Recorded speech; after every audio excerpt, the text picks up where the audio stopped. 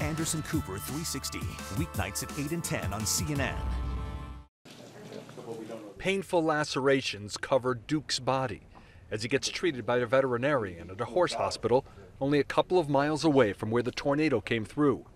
Hundreds of horses were killed and hundreds of others injured in the Moore, Oklahoma twister, according to the doctors and staff at this hospital. It's horrific, but you have to go to a different place. You can't you can't be in an emotional state. You have to just be in that place where where there's no emotion there at all. You know what has to be done. You have to do what has to be done, and you can't be thinking about about the what ifs. You just you make a decision and, and you live with it. You triage and go on. Duke has a wonderful temperament, but very serious injuries. In addition to the lacerations, he also has a broken rib. Doctors are doing the best they can to try to save his life. They're working hard to take care of Samantha and Nancy, both covered with lacerations too.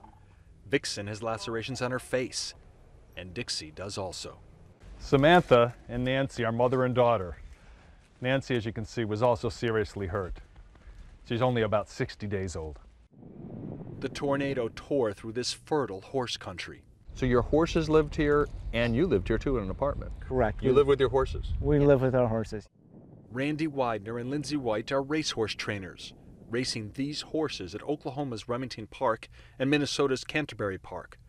These are pictures they took of the tornado coming towards the barn and apartment they rented. They wanted to evacuate their horses, but couldn't do it fast enough. When they came back, the barns were destroyed, and all 12 of the racehorses were killed. As soon as we get dressed, we come out, give them breakfast, and then we go in and eat. Tell me your favorite horses. Buying Corona.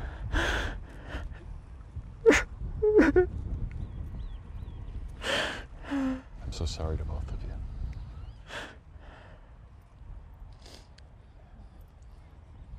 Buying Corona was uh, a filly that we we saw her run for her first time at Canterbury Park last year, and we saw a lot of potential in her, and we went and bought her.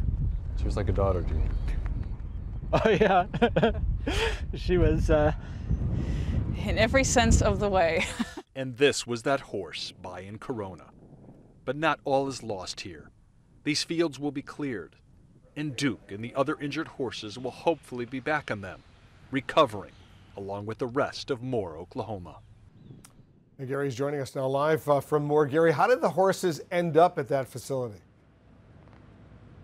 Wolf doctors and volunteers drove all over the neighborhoods here in Moore looking for horses who were by themselves, who were injured, and then brought them to the hospital. And that leads me to the amazing story of Samantha and Nancy, the two horses I just showed you. They did not know they were mother and daughter. They came at two separate times to the hospital.